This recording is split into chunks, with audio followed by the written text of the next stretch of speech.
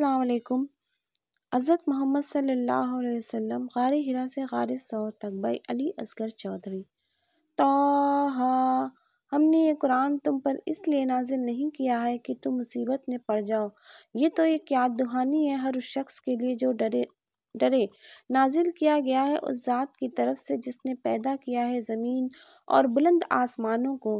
वह रहमान वह रहमान कायनात के तख्त सल्तनत पर जलवा फरमा है। मालिक है उन सब चीज़ों का जो आसमानों और ज़मीन में है और आसमान और ज़मीन के दरमियान है। जो मिट्टी के नीचे हैं, तुम चाहे अपनी बात पर पुकार कर कहो, वह तो चुपके से कही हुई बात, बल्कि उससे मुख्फी तर बात भी जानता है। वह अल्लाह है, इसके सिवा कोई खुदा नहीं, उसके लिए बेहतरीन नाम है। ताहा आयत नंबर वन से एट। और उमर रज़ी तु का सर झुक गया।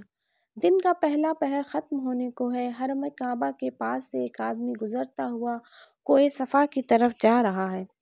उसके उठते हुए कदम किसी उलझन के गमाजी कर रहे हैं।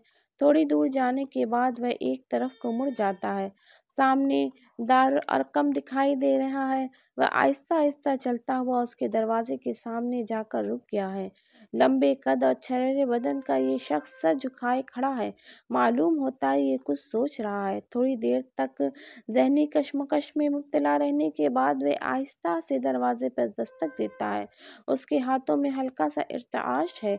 वह खुद हमतन तनगोश दिखाई देता है। उस असना में अंदर से पाँव की चाप सुनाई देती है और कोई दरवाजे के करीब आकर पूछता है कौन?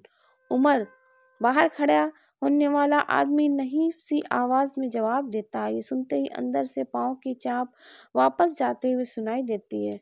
उमर बिन ख़त्ताब बनु अदी के सत्ताईस साल जहीन नौ, नौजवान और बहादुर फ़र्द हैं।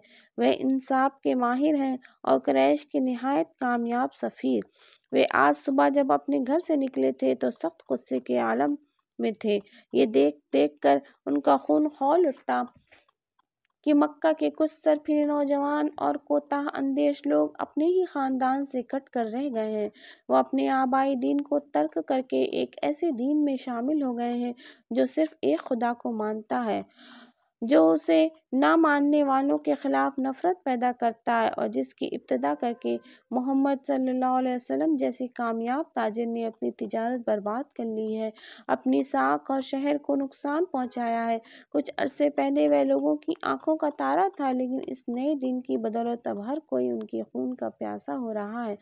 ये शख्स कितना कामयाब जादूगर है जो एक बार इस कलमा, इसका कलमा पढ़ लेता है, उस वक्त अपने ही अजीज़ों से तरके मवाक़ात कर लेता है। मोहम्मद सल्लल्लाहु अलैहि वसल्लम ने तो मियाँ बीवी और भाई भाई और बाप बेटे में नफ़रत की दीवारें खड़ी कर दी हैं। मैं आज उनका किस्सा ही पाक कर दूँगा ताकि फितना हमेशा के लिए दफन हो जाए। उमर आज अपने घर से मोहम्मद सल्लल्लाहु का किस्सा पाक करने के लिए निकले थे और दारुल अरकम में मोहम्मद सल्लल्लाहु अलैहि वसल्लम के दर अकदस के सामने सर झुकाए खड़े हैं। उमर रज़ी तु आज सुबह जब अपने घर से निकलकर दारुल अरकम की तरफ़ रवाना हुए तो सर राह बनु अदी के एक शख्स नईम से मुलाकात हो गई, जिन्होंने अपने इस्लाम को भी अभी तक अखवा में रखा हुआ था।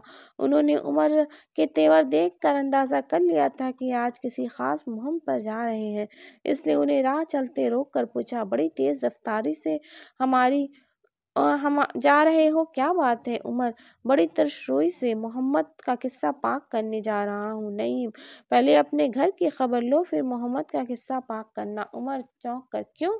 नहीं, पहले अपने ही घर का किस्सा पाक करना पड़ेगा। उमर, नहायत बेताबी से, क्यों? क्या बात है? नहीं वल्लाह ए उमर, तुम्हारे नफ्स ने तुम्हें धोखे में डाल दिया है। क्या तुम समझते हो कि मोहम्मद सल्लल्लाहु अलैहि वसल्लम के कत्ल के बाद बनी अब्द मनाफ तुम्हें ज़मीन पर चलने फिरने के लिए चलता छोड़ देंगे? तुम ज़रा पहले अपने घर वालों की तो खबर लो।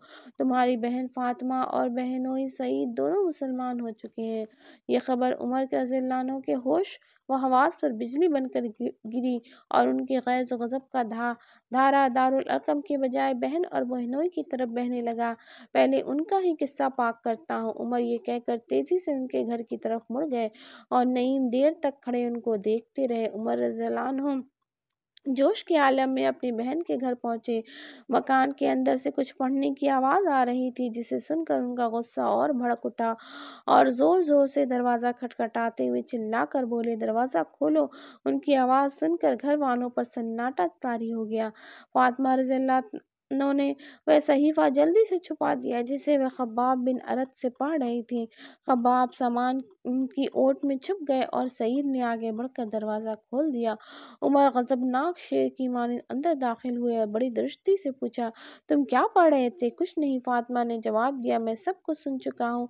तुम लोग मुर्तद हो गए हो। उमर ने चीखते हुए कहा और अपनी बहनोई से गुत्थम गुत्था हो गया बहन से शोहर की ये दुर्गत देखी ना गई, वे आगे बढ़कर उन्हें छुड़ाने लगी तो उमर ने उन्हें भी बेतहाशा पीटना शुरू कर दिया।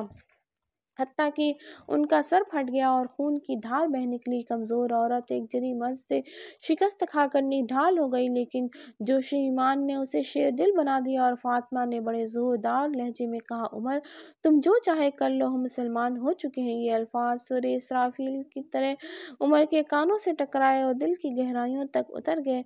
उन्होंने हाथ रोक लिया और अपनी बहन की तरफ़ देखा। मासूम चेहरा, खून की धार, ईमान का नूर, उमर जलानो उनकी ताब न ला सके। उनकी नज़रें झुक गईं और थोड़ी देर तक सकते की आलम में रहकर बोले, ये जो कुछ तुम पढ़ रहे थे मुझे दिखाओ। फातिमा के सीने में उमंगों के चिराग जल उठे और उन्होंने कपकपाते हुए हाथों से सहीफ़ा उनकी तरफ़ बढ़ा दिया। उमर रज़ियल्लाहु पढ़ रहे थे, ये सूर्य ताहा की इब्तदाई चंद आयतें हैं। ताहा, हमने ये कुरान तुम पर इसलिए नाजिल नहीं किया कि तुम मुसीबत में पड़ जाओ। ये तो एक याद दहानी है हर शख्स के लिए जो डरे। नाजिल किया गया उस ज़ात की तरफ़ से जिसने पैदा किया है ज़मीन और बुलंद आसमान को, वह रहमान तख्त सल्तनत पर जलवा फरमा है। मालिक है उन सब चीज़ों का जो आसमानों और ज़मीन में है। वो आसमान और ज़मीन के दरमियान है। जो मिट, और जो मिट्टी के नीचे हैं, तुम चाहे अपनी बात पुकार कर कहो। वह तो चुपके से कही हुई बात, बल्कि उससे मुख्फी तर बात भी जानता है। वह अल्लाह है, इसके सिवा कोई नहीं है। उसके लिए बेहतरीन नाम है। उमर रज़ी तु भी अख्तियार बोल उठे। खुदा की कसम, कैसा पाकिज़ा कलाम है। अल्लाह का कलाम उमर रज़ी के दिल में तीर की तरह बेवस्त हो गया। कुफ्र और शिर की कसाफत धुल गई। दिल की दुनिया नूर ईमान से जगमगा उठी। खुदा की कसम, कैसा अच्छा और पाकिज़ा कलाम है। यह आवाज़ उनकी दिल की गहराइयों से निकली और जोश और जज्बे पर मुहित हो गई। अब खबाब रज़ी भी ओट से निकल आए। उनका खौफ जाता रहा था। उमर ने इन्हें हैरत से देखा। लेकिन खबाब ने इन्हें कुछ कहने का मौका दिए बगैर कहा, उमर आगे बढ़ो। मोहम्मद सल्लल्लाहु अलैहि वसल्लम का दर ना छोड़ो। उन्होंने दुआ की, खुदाया उमर बिन हशाम, दुआ की थी, खुदाया खुदाया उमर बिन हशाम या उमर बिन ख़ताब से इस्लाम की मदद करना मैं समझता हूँ। अल्लाह ताला ने ये दुआ तुम्हारे हक़ में कबूल कर ली है। बस ए उमर, अल्लाह की तरफ़ आओ। ए उमर, अल्लाह की तरफ़ आओ। उमर ने गहरी आ भरी, मैं मोहम्मद को कत्ल करने के दर पे हूँ और वह मेरे लिए भलाई की दुआ करते हैं। उन्होंने मोहब्बत, शफ़क़त से उनकी तरफ़, उन सब की तरफ़ देखा और कुछ कहे सुने बगैर नहायत तेज़ी से घर से निकल गए। दार दार अरकम में मोहम्मद सल्लल्लाहु अलैहि वसल्लम अपने साथियों समेत तशरीफ़ फरमा है। उमर रज़ी तु दरवाज़े पर सर झुकाए खड़े हैं। बिलाल रज़ी तु ने अंदर जाकर खतमत नबी में अर्ज़ किया, उमर है, उमर का नाम सुनकर सब चौंक उठते हैं। उमर इस्लाम के शदीद तरीन दुश्मन है, बड़े बहादुर और सख्त गिर आदमी है। आज उन्हें इस जगह यूँ अचानक देख कर सब हैरान रह गए। उनकी घबराहट बिल्कुल बजा है। उमर से इन्हें किसी खैर की उम्मीद नहीं है। खुदा जाने वे इस वक्त क्यों आए हैं? हमजा रज़ी ने कहा आने दो, अगर इरा, अगर नेक इरादे से आया है तो ठीक है, वरना उसकी तलवार से उसका सर उतार लिया जाएगा। उन्होंने सच कहा है वह पहलवान है, दार, रसालत के शिदाई हैं, वो मोहम्मद सल्लल्लाहु अलैहि वसल्लम की खातिर किसी से टकराने के लिए हमा वक्त तैयार हैं।